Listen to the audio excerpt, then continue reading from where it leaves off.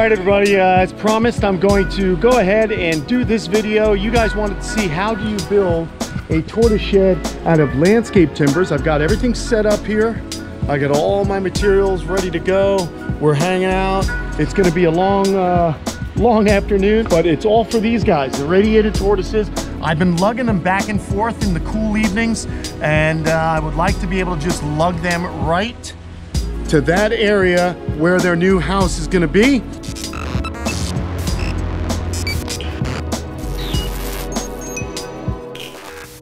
So that's what we're doing this video. We're gonna give these little guys a home. There's eight of them, and uh, we gotta make something big enough that can accommodate them during the cold parts of the night during our South Florida winter. And that's what we're doing right now. So I'm gonna get right to it. Bye.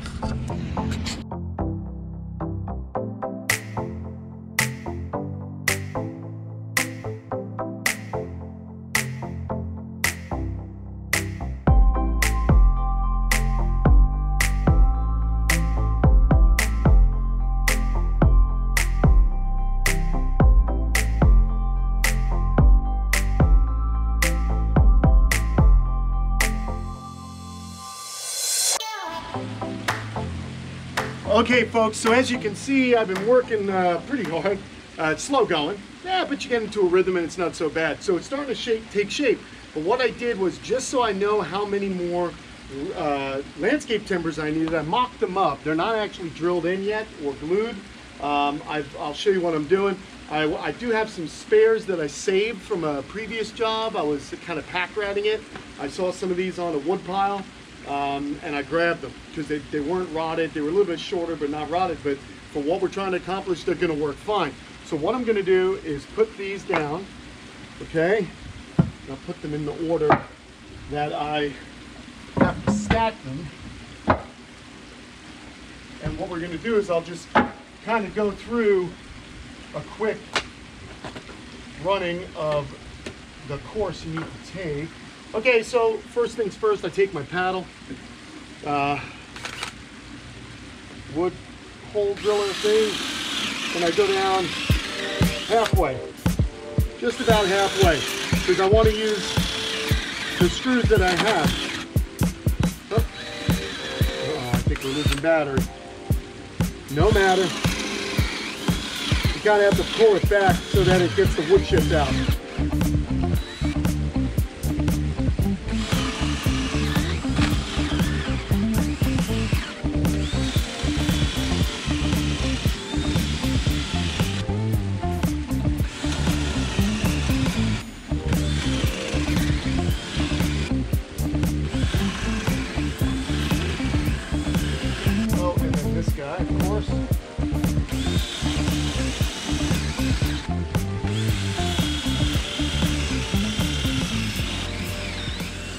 We're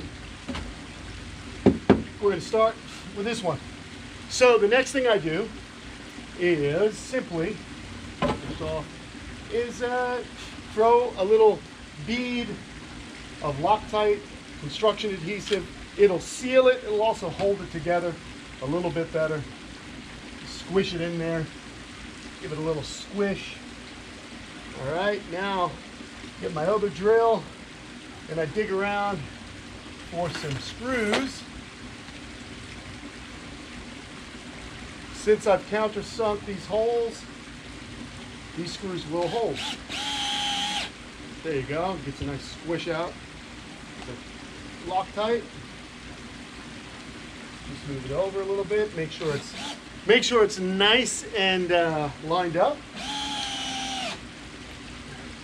Yeah, this old turtle's house. Tur turtle house. cool. Let's get another bead on this one now.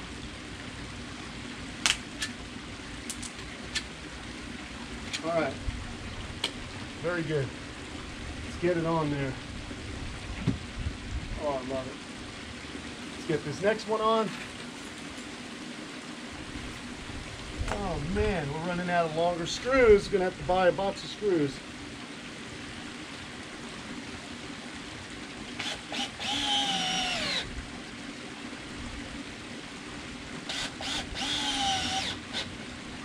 All right, so I'm basically gonna do the same thing around the whole side, go up another course, We're gonna have a straight beam across here, and uh, that's what I'm up to. So I'll check back with you guys in just a little bit. Later.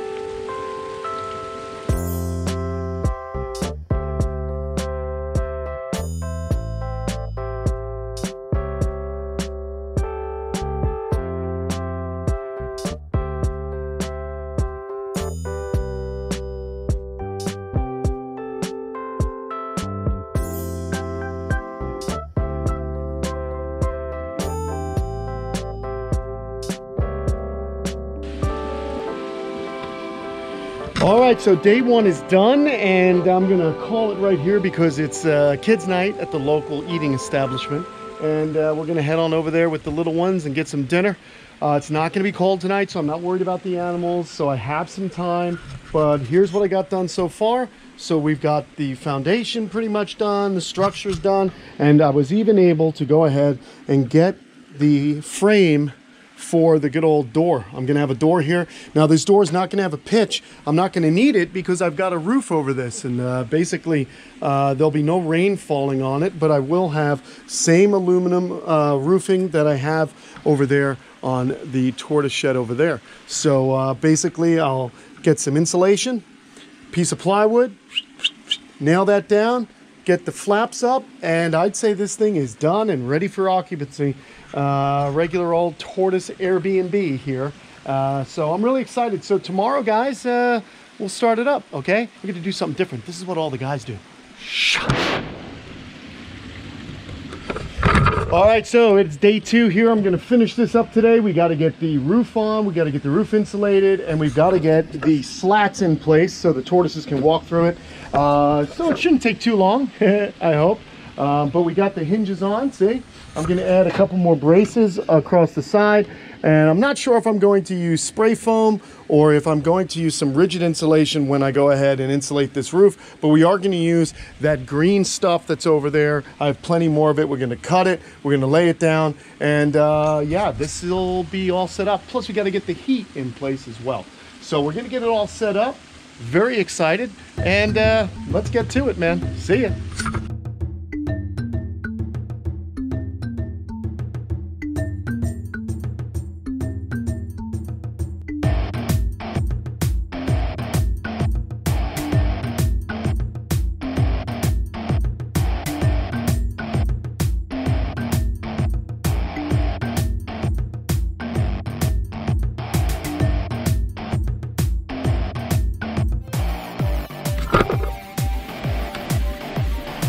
Right, what's going on everybody? So we are nearing completion here.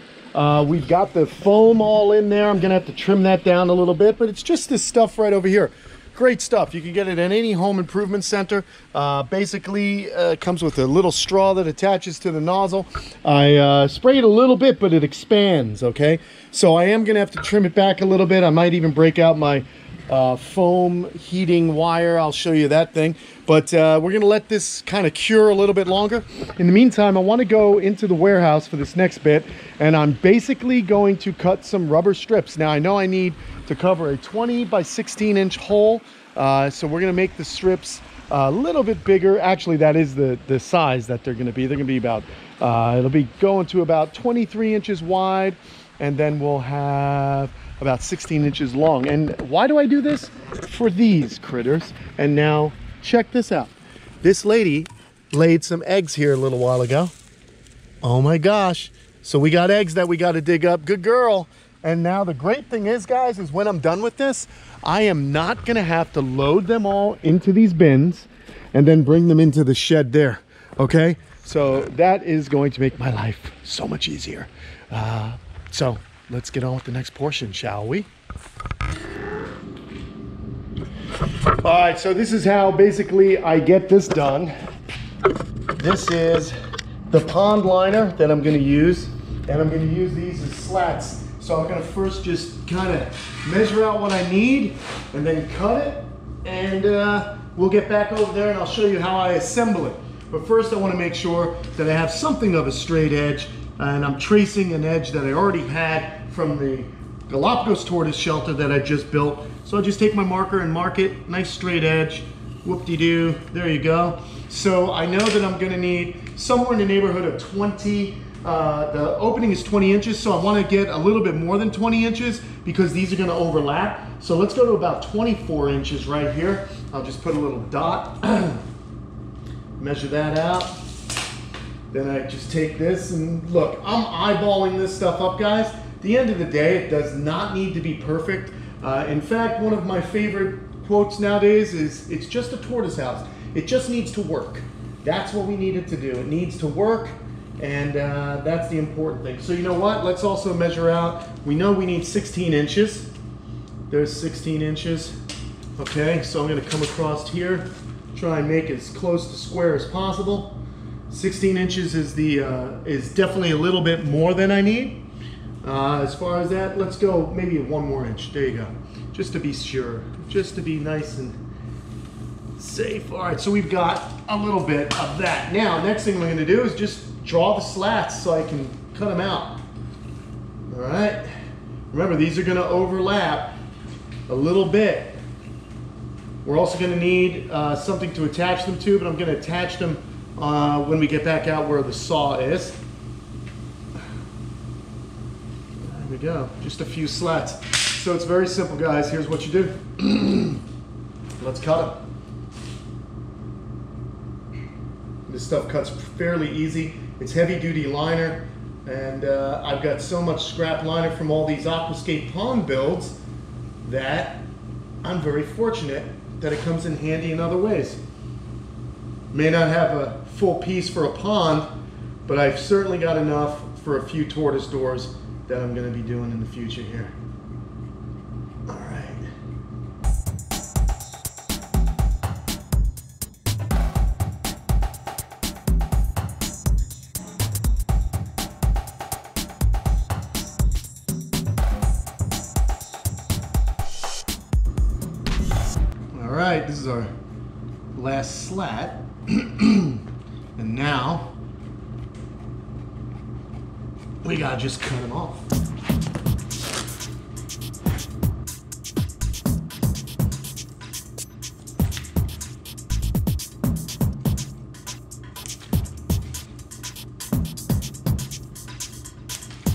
Okay, so I got all my slats and uh, I'm gonna head back over once I find a piece of wood that I can attach them to.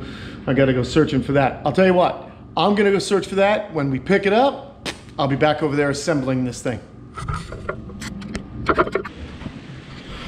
All right, so I went and just found a piece of two by four that's actually long enough to span the opening of the door.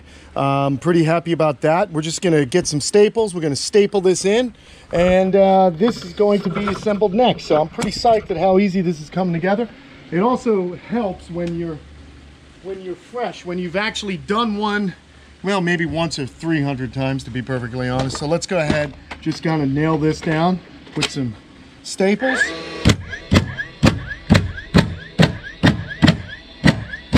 I just like to put a lot in. But what we're also gonna do is you'll see. So that's that. That is done. But before I go any further, I need to change from this socket driver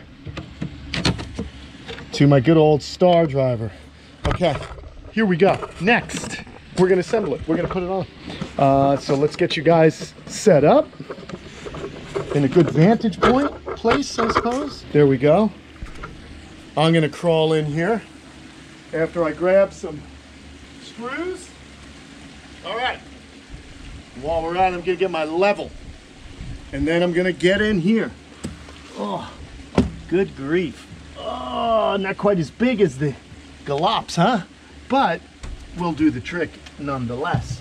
So what I like to do is simple. Just kind of put it up like this. Oh, that looks nice. Look at that, guys. Covers it up nicely. That's all you need. I mean, we're just gonna put it up like that. And uh, what I'm gonna do next, can you guys stay right there for me? I don't know. Oh, there we are. All right. I think that works. Uh, we're gonna just check the level. Just because. That looks pretty good to me. Maybe just down a smidge. I mean, you can really do this by eye. Here we go.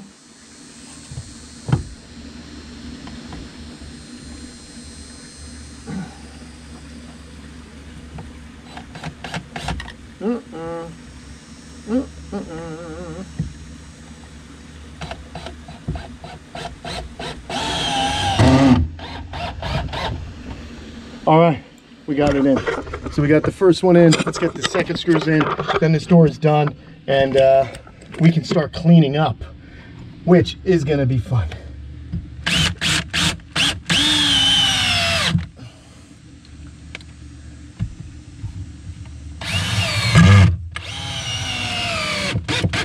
Okay, well, I'm gonna clean up and I'll be right back.